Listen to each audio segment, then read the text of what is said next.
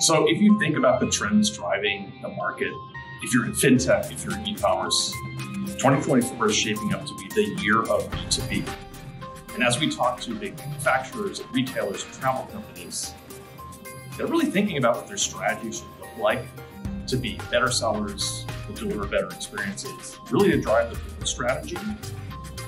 But they have to think about what their best buyers want. And at TreviPay, we have you covered. In fact, we've worked with our partner Murphy Research to do an update of what we call our B2B buyers research, our data report, and the data's in. So if you're interested in what big buyers are thinking about, preferences, how that varies by geography, what are they looking for in terms of a provider generally? What are they expecting in terms of payments, choice, and even infrastructure?